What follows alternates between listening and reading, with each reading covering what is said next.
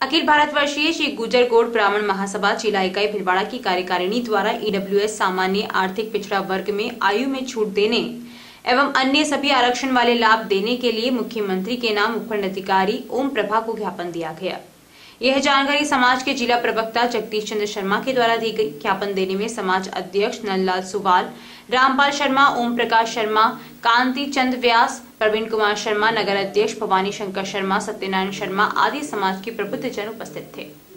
कि अभी राजस्थान आयोग ने ये भर्ती निकाली है पुलिस उप अधीक्षक की उप निरीक्षक की भर्ती निकाली है। ये भर्ती पाँच साल बाद निकाली जा रही है पहले कभी सोलह में निकली थी और उसके बाद अब निकल रही है और आयु सीमा की जो गणना की गई है वो एक एक बाईस से की गई है। जबकि होनी एक एक इक्कीस से चाहिए थी।